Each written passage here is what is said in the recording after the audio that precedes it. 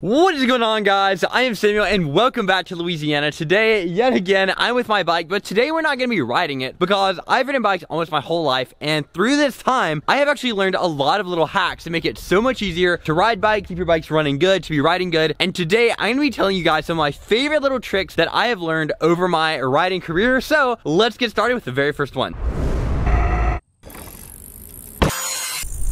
Yeehaw!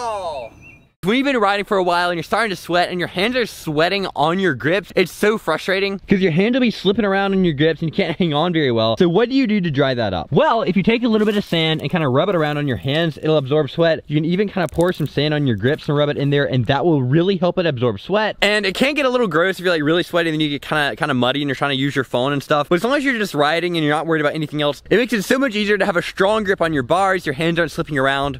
Do you see that leaf just bounce off my head? Let's go on to the other problem, which also comes from grips. And this is what can happen if sweat gets up underneath your grip. So if you like me, I tend to grip with my thumb kind of on the handlebar and a little bit off the grip. So my thumb can kind of roll the grip back and sweat or sand or debris can just get under the grip. And it makes it really easy to get throttle grip, which is what happens when your grip is slipping around your handlebar. And usually if that starts, it's gonna start on one of the ends, either getting dirt under this end or getting sweat or something up under this end and it starts slipping. And it feels absolutely terrible. It is enough to ruin your ride and make you not even be able to do any tricks so there needs to be a good fix for it, and it is. It is so simple, but it's actually taking me years to find. Let me tell you what it is. All you need is a paper towel and some rubbing alcohol, and you'll be set. You can just take your grip and roll it back on itself a little bit and kind of roll it back as far as it's slipping. And then take your alcohol and squirt a little bit on your paper towel. And then use your alcohol and paper towel to clean up your handlebar and the exposed rubber on the grip. And now it's gonna be completely clean. I know it can be a little scary to put liquid on your grips, but it's rubbing alcohol. It's gonna evaporate super quickly and leave your grip completely clean and sticky like it should be. So then once you see that everything is dried off, you can take it and roll it back down and it's gonna be sticky and hang on like a brand new set. But sometimes you can get your, sometimes you can get your grip so messed up that you need to take the entire grip off to clean it out. What's the easiest way to take your grips off and put them back on? I will show you the trick that saved me hours. Obviously, you do need to take your bar end off first. Never ride without these. They can literally save your life. So the best way to take these grips off is just to take an air compressor and basically turn your grip into a balloon. You can just stick it up under one end and inflate it and blow it right off. And now to put it back on, we're gonna do the exact same thing. I just get one little end started, I slide in my air compressor and just inflate the grip and blow it on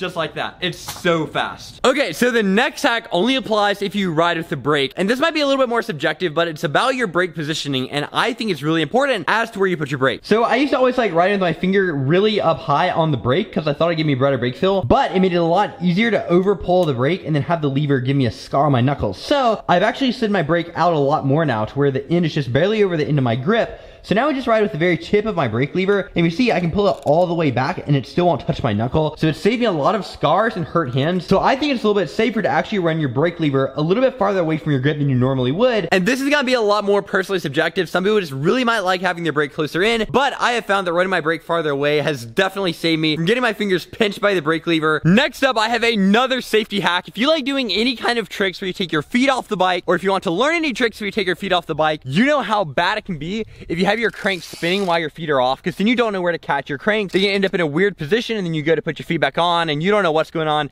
It's really bad. Some people end up installing crank stoppers, which are like little pieces of rubber that go in there to prevent your cranks from spinning backwards too freely. But the easiest way to do this, where you don't have to take apart your bottom bracket to put anything on, is just to run a really, really tight chain. Get your chain as tight as it can be. And just your chain can add enough tension to your cranks that they won't spin very freely backwards. And you can see how tight mine are just from the chain. They don't really spin in reverse just from all the tension on the chain. Next up is something that I'm not even doing right now, but I've done it in the past, so I'm gonna share it with you guys. If you're running a brake and you have a lot of extra hose wrapped around your stem to do bar spins with, then this hose is gonna end up rubbing on your frame. And it was starting to rub my paint off, so I used to always keep a little sticker right here, and that sticker would just protected my paint, and I just recently peeled it off, and you see how clean my paint is. But let me show you a spot where the brake hose rubbed where I did not used to have a sticker. This is the front of the bike, and I've never put a sticker here, and you can see where my brake hose is rubbing.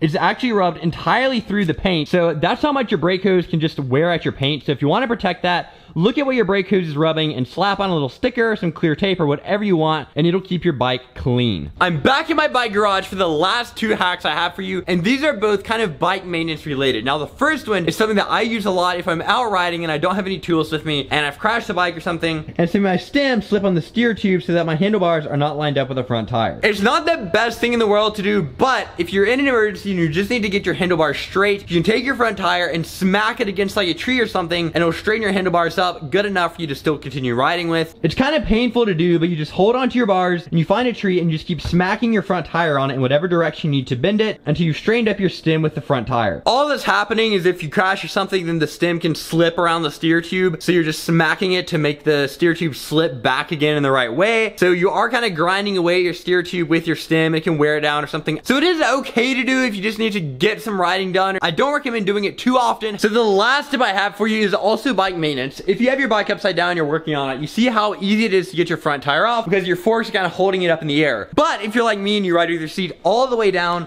then your rear tire actually touches the ground instead of your seat. So if you're trying to take your rear tire off, it's getting stuck in the ground. It'd be kind of hard to slide it around, get your chain off or whatever. So the trick I have for you is actually to raise your seat up a little bit before you flip the bike over, and that will raise your rear tire up in the air. So I'm gonna undo my seat clamp, and then we can raise the seat up just a little bit. It doesn't need to go up that high, and then we can tighten it back down just a little bit, not super tight. Now you see when I flip the bike over, my rear tire's all the way in the air and the bike is sitting on the seat for a little bike stand and it makes it so much easier to take the rear tire off and work on the bike. That's gonna be my last hack. Hopefully some of these are helpful for you and you can use them to improve your riding, make it easier to take care of your bikes. Let me know if you have any others. I hope you guys enjoyed this video and maybe you'll get to use some of these bike hacks to make your riding better, make taking care of your bikes easier, any of that stuff.